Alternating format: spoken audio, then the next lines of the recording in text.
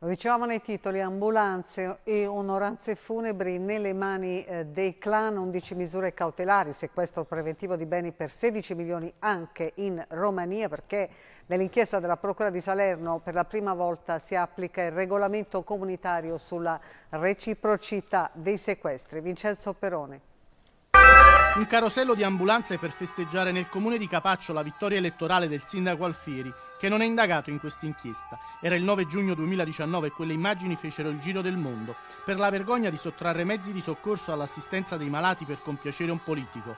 Dietro quelle ambulanze c'è un imprenditore salernitano vicino al clan camorristico di Giovanni Marandino, che attraverso una girandola di società, associazioni Ollus e una schiera di prestanome che gli schermavano le attività criminali sull'asse Salerno-Zimbor in Romania, aveva acquisito un potere economico di dimensioni abnormi. Questa fila di ambulanze è una cosa che mi mancava, la fantasia della la criminalità organizzata napoletana è nota. La squadra mobile di Salerno e il servizio anticrimine della polizia, coordinati dalla Procura della Repubblica di Salerno, ha arrestato 11 persone, tra cui l'imprenditore Roberto Squecco, sequestrati in via preventiva beni e assetti societari per un valore di 16 milioni di euro. In contemporanea noi agiamo penalmente e agiamo sotto il profilo della misura della prevenzione. Colpiamo il patrimonio al massimo della nostra potenza di fuoco e facciamo gli arresti. L'imprenditore, già condannato per estorsione aggravata dal dal metodo mafioso, la cui moglie, risultata prima eletta al Consiglio Comunale di Capaccio, aveva conquistato, con l'intimidazione alle imprese concorrenti,